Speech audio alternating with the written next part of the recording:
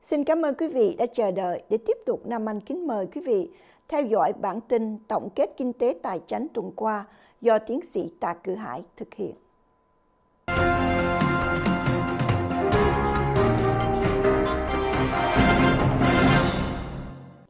Kính chào quý khán giả của SPTN. Chúng tôi là Tạ Cử Hải từ thủ đô Washington DC và sau đây là bản tin tổng kết kinh tế và tài chính tuần qua. Thị trường chứng khoán cuối tuần thứ sáu 29 tháng 3 2019. Dow Jones 25.928.68, Week Today cộng 1.67% và Year Today cộng 11.15%. Nasdaq 7.729.32, Week Today cộng 1.13% và Year Today cộng 16.49%. S&P 500 2.834.40, Week Today cộng 1.20% và Year Today cộng 13.07%. Giá vàng là 1.290 đô la 80 cent một ounce, căn cứ dữ kiện hôm thứ Sáu 29 tháng 3 2019. Giá dầu thô 60 đô la 18 cent một barrel, cũng căn cứ vào thứ Sáu 29 tháng 3 2019. Và giá xăng là 2 đô la 691 một gallon, căn cứ vào dữ kiện từ công ty 3 chữ A thứ Sáu 29 tháng 3 2019. 1 đô la của Hoa Kỳ tương đương với 0.8904 của đồng euro Liên hiệp Âu Châu thứ 6 29 tháng 3 2019, tương đương với 0.7666 của đồng Anh Kim Anh Quốc, tương đương với 6.71 đồng yuan Nhân dân tệ Trung Quốc, tương đương với 110.86 của đồng yen của Nhật Bản, tương đương 65.54 đồng ruble của Nga, tương đương với 1.33 của đồng đô la của Canada. Và tương đương với 1.41 của đồng đô la của Australia. Lãi suất mortgage theo công ty Freddie Mac thứ năm ngày 28 tháng 3 2019, 30 năm cố định là 4.06% và 15 năm cố định là 3.57%. Tình trạng thất nghiệp Tuần lễ kết thúc thứ Bảy ngày 23 tháng 3 2019 có 211.000 người xin hưởng quyền lợi thất nghiệp lần đầu, giảm 5.000 so với tuần lễ trước đó.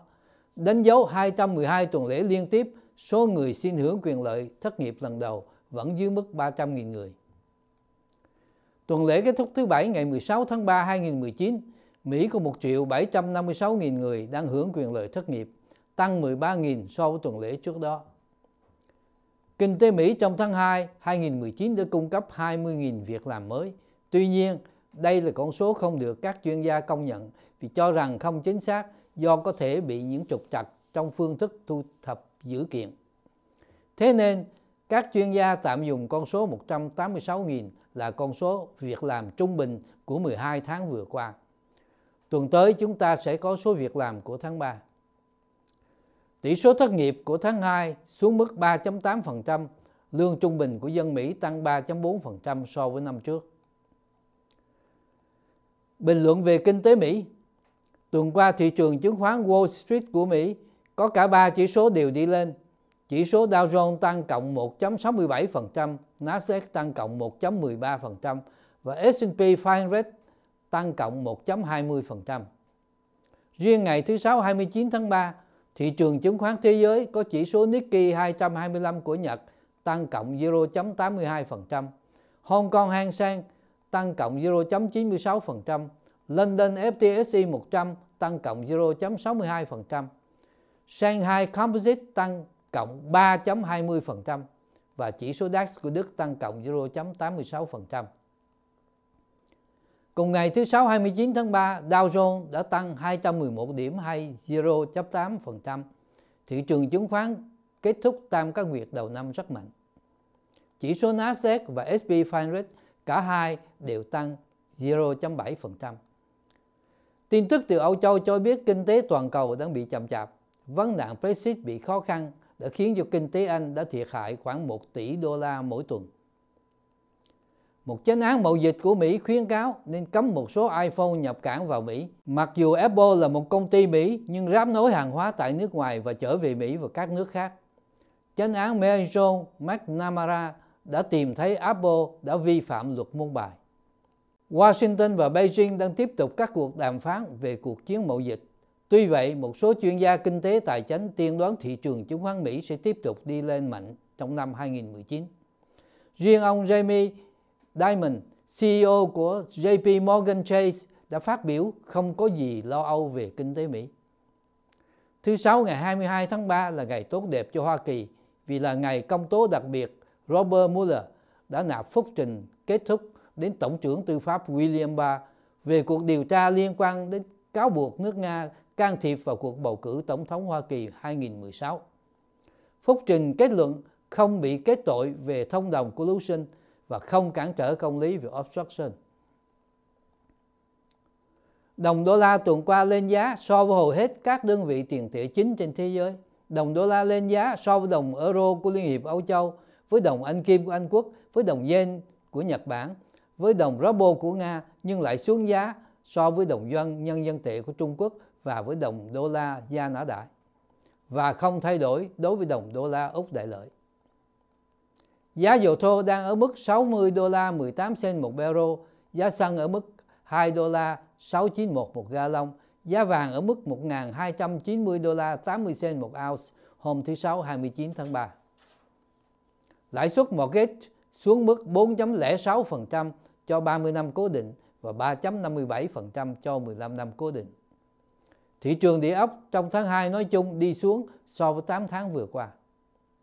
Kinh tế thế giới, Đồng Anh Kim của Anh Quốc xuống giá 0.5% so với đồng đô la của Mỹ sau khi kế hoạch Brexit của Thủ tướng Anh Theresa May bị Quốc hội Anh bác bỏ lần thứ ba.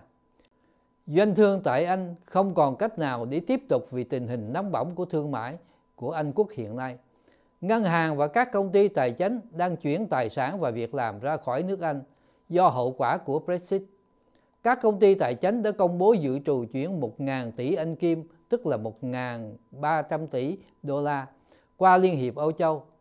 Nhiều ngân hàng đã sắp đặt văn phòng mới tại Đức, Pháp, Ái Nhĩ Lan và các nước khác thuộc Liên hiệp Âu Châu. Ngành tài chính chiếm khoảng 12% của kinh tế Anh quốc và việc làm cho 2 triệu 200 ngàn nhân viên.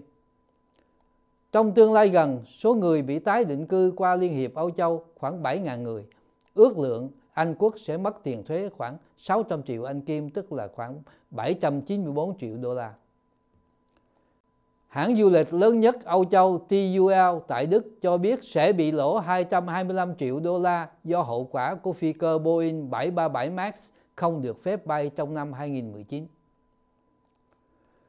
Trung Quốc đã ký hợp đồng với hãng chế tạo máy bay Airbus để mua 290 Airbus loại A320 và 10 Airbus loại A350 với tổng số ngân sách là 35 tỷ đô la.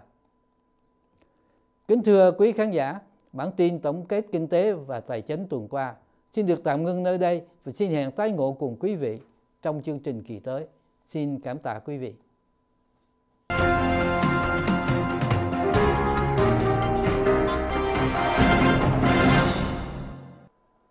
Thưa quý vị, bản tin Hoa Tình Đốn tối nay đến đây là chấm dứt.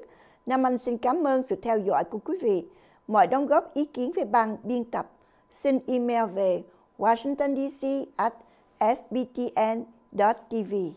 Kính chúc quý vị có một buổi tối an vui và hạnh phúc bên người thân và gia đình. Nam Anh kính chào và hẹn gặp lại quý vị vào kỳ tới. Trân trọng kính mời quý đồng hương tham dự buổi dạ tiệc dạ vũ gây quỹ truyền thông Xuân quê hương do VATV và SBTNDC thực hiện. Vào lúc 6 giờ chiều ngày Chủ nhật 14 tháng 4 năm 2019 tại nhà hàng Harvest Moon với sự bảo trợ của nhà hàng Present, điện thoại số 703 531 1881, nhà hàng Sài Gòn 1975, điện thoại số 703 992 8128, nhà hàng Nha Trang, điện thoại số 703 534 1657, Nova Pharmacy, điện thoại số 703 538 5555, Kim Phụng Bakery, điện thoại số 703 534 4525, Brother Auto Services điện thoại số 703 204 1233, Thanh Sơn Thôn Phu điện thoại số 703 534 1202, Hoa Thịnh Đốn Việt Báo điện thoại số 703 339 9852, Bánh mì ba lẹ điện thoại số 703 876 9062, Emerson Exley Accounting Tax and Payroll Services Incorporation điện thoại số 703 237 5404, Mọi chi tiết xin liên lạc Ung Kim Lâm 703 307 5001, Nam Anh 202 999 6075, Minh Thúy 703 485 6392.